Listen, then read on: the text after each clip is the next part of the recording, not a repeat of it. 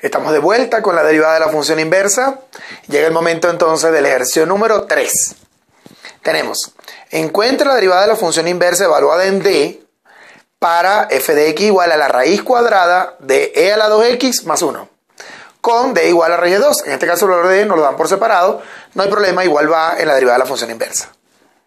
Antes de comenzar, las tres condiciones.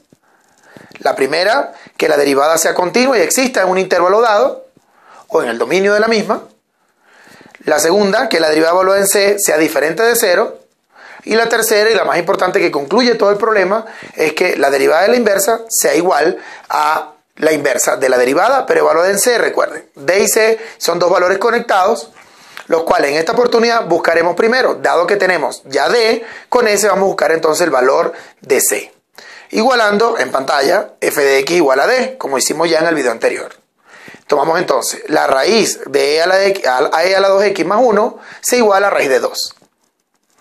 En este caso la intención es conseguir x. Como ambos tienen raíces, elevamos al cuadrado, lo vemos en pantalla, ambos lados de la igualdad, se eliminan las raíces.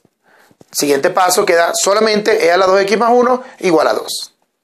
El 1 que está sumando pasa restando. Siguiente paso queda e a la 2x, 2 menos 1, todo con calma quedará e a la 2x igual a 1, lo podemos ver. Ahora, para eliminar la exponencial, porque la x está en el exponente, aplicamos logaritmo natural de ambos lados. Siguiente paso, logaritmo natural del exponencial es igual al logaritmo natural de 1. Les recordamos dos cosas. Logaritmo natural del exponencial, como son inversas, se eliminan, lo indicamos, y logaritmo natural de 1 es 0. Quedará entonces 2x igual a 0 en el siguiente paso, el 2 pasa a dividir y 0 entre 2 será 0. Recuerden que yo estoy utilizando la misma x, pero puede ser cambiada por x sub 0 o por c. En este caso, por lo tanto, los tres puntitos, ese valor será c igual a 0. Valor importante para poder terminar el problema. Ahora pasamos a derivar. Recuerden que también pudieron haber derivado primero y después buscado el valor de c. Derivamos. Para derivar una raíz de este tipo, colocamos la función nuevamente, raíz de exponencial más 1, aplicamos el teorema directo. Será derivada interna sobre dos veces la misma raíz. Quiere decir que en el numerador va la derivada interna de la raíz, es decir, la derivada exponencial será ella misma por 2, que es la derivada del exponente, sobre dos veces toda la raíz idéntica. Aprovechamos el 2 que está dividiendo y el 2 que quedó casualmente multiplicando en el numerador se eliminan y nuestra derivada quedará e a la 2x sobre la raíz de e a la 2x más 1.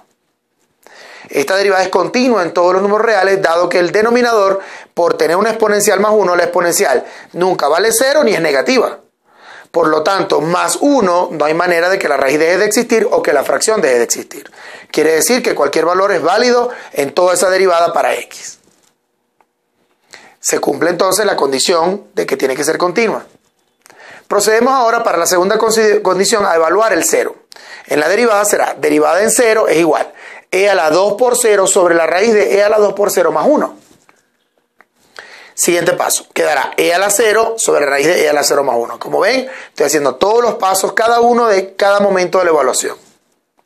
e a la 0 es 1 y en la raíz e a la 0 es 1, lo indicamos y 1 más 1 es 2, queda 1 sobre la raíz de 2 que es diferente de 0. Nuestra segunda condición, perfecta. Para concluir, en pantalla. La derivada de la inversa evaluada en raíz de 2 tiene que ser igual a la inversa de la derivada evaluada en 0. 1 sobre 1 sobre raíz de 2, como es 1 sobre una fracción, no haremos la doble C, sino que lo haremos directo.